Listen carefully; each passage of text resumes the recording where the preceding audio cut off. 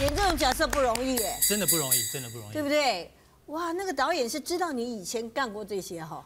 他大概知道，因为我跟那个导演王玉玲还蛮熟的，认识十十多年。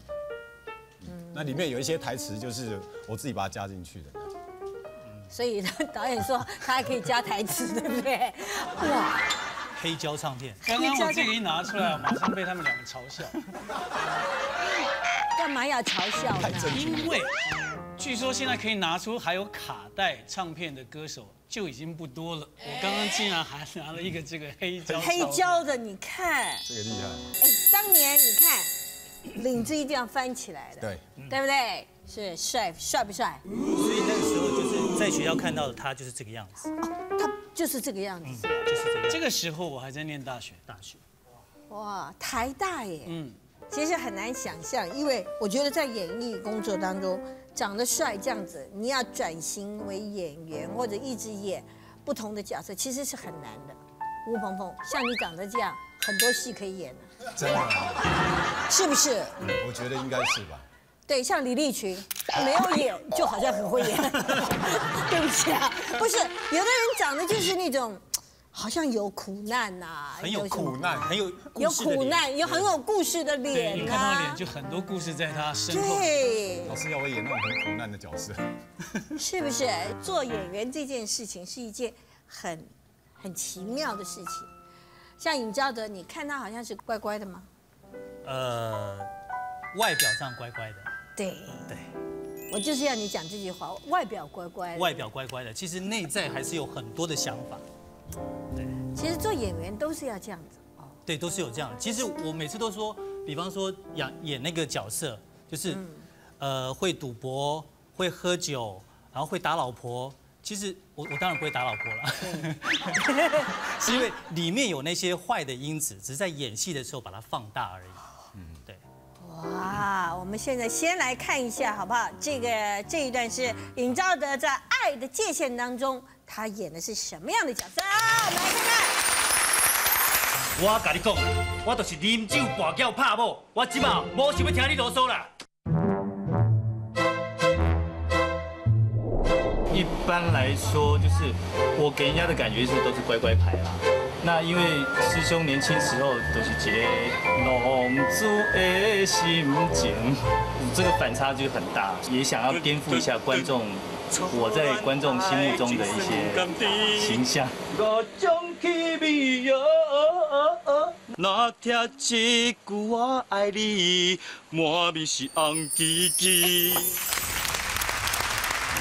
所以当然的戏也很好看，就是说，其实他并不说，呃，所有当然他心中是希望人向善，但是人嘛，就是人，人都有一些过去。对。那过去是这样子，那为什么会变成这样？所以他的故事都是在告诉人为什么会转变，如何转念跟转变，对不对？对对对。所以你在演这个时候，你还是要问他说：“你那个时候是什么样子啊？”其实我那时候看到师兄的照片，其实我想说，你年轻时候是这个样子啊，满脸横肉，然后拍拍照的时候，他女儿坐在旁边，然后他是翘着脚，手上叼着一根烟，然后斜着看着镜头，我就想，这是你吗？然后他现在的样子是一个。慈眉善目，然后满头白发，戴着银框眼镜的一个很很慈济人的一个师兄。师兄，想说这两个人怎么会摆在一起？我确信啊，心变了，相会变。因为我真实的一个朋友就是这样，那个叫孙悦，是不是？是。他年轻的时候是专门演那种哦，坏的，最坏最坏的。汉奸呐，什么什么什么，反正只要是坏人，一定是他，而且他长得也就很坏。现在变成一个圣诞老公公了，怎么会这样子呢？所以人真的相由心生，这这太厉害了。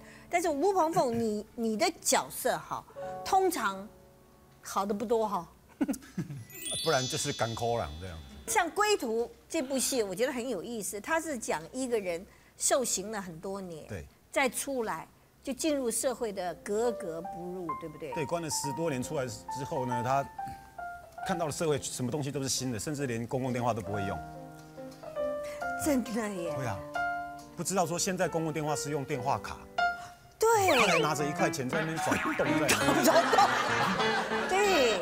而且这是一部很有意思的戏，而你演那个角色，难怪要得最佳男主角。哎，他突然腼腆起来，哎，你这个腼腆的很好笑哎。好，今天我们也拿了一部戏，叫做《回首留兰香》哈。这部戏很有意思，在大二的戏里头，他是演夫妻两个都是爱喝酒的。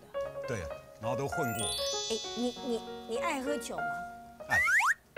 你看起来就像爱喝酒，而且看起来酒量还不错的样子。还好，因为我告诉你啊，诗人呢都是要喝点酒。是啊，你看李白是不是？哇，还能把李白讲出来，你真是那部戏是夫妻两个都爱喝酒，爱喝酒，爱赌博，然后就混，然后每天过着不正常的日子。所以这个角色找到你的时候，你觉得哎也蛮对的哈。因为他们两个是以前在混万华一带，然后万华我我高中的时候也在那边待过了，也在那边混。待过。好，我们来看看那部戏《回首留兰香》，准备。所以我们其实很多事情都是用即兴的，就是剧本拿来，然后导演就说这一场的戏重点就是点点点，重点就是点点点点点，那其他的你们就。发挥，但是发挥不是说就乱演，就是我们就会即兴，然后把还是把那个东西即兴出来的东西固定下来。